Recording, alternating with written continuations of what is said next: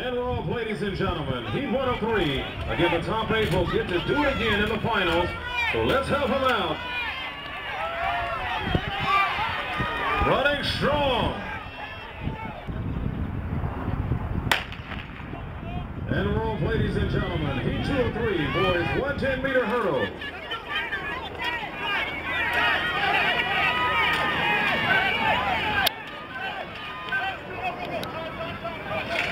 Landon in lane four.